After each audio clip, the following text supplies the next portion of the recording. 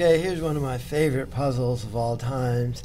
Uh, it's pretty historical. I've seen a lot of references to it. It's called the missing square puzzle. Um, you take out these pieces, these four pieces, or you move the pieces around.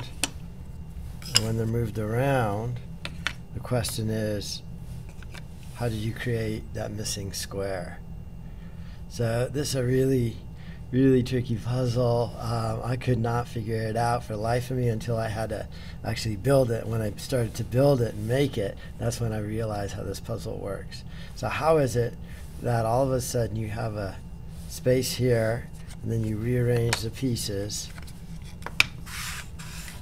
and when the pieces are rearranged, the missing square is gone now. How is that possible? I'll let you pause the video here for a second if you want to figure it out, and I'll show you the solution. Okay, well here we are with the solution. How this works, I'll show you the one I made. Here's the one I made right here. And I drew a rectangle that's 13 by 5, and then I draw a diagonal from corner to corner. And this one right here actually does not work. So I'll rearrange these pieces, and you'll see it doesn't work. These won't fit in here. So these don't actually fit in.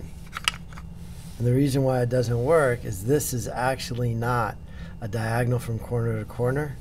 This shape is actually not a triangle, but rather a quadrilateral. It's a four-sided figure.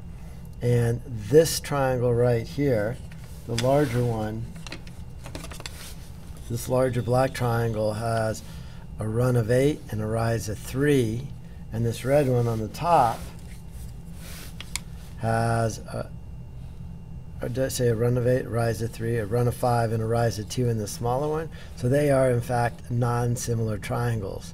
So these angles are not the same. So you actually have to draw the diagonal in a box that's 8 by 3, and then another diagonal in a box that's 5 by 2 when you actually build this.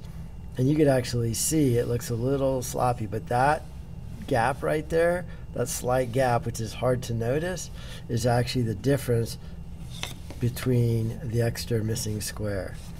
So this black triangle is 8 by 3, this red triangle is 5 by 2, and if you were to find these angles, you could see it would be the arctangent of 3 eighths to give you this angle versus the arctangent of 2 fifths, and you'll see that um, you know this is a ratio of 0.4 and this is a ratio of 0.375 so this is going to be a little bit bigger of an angle.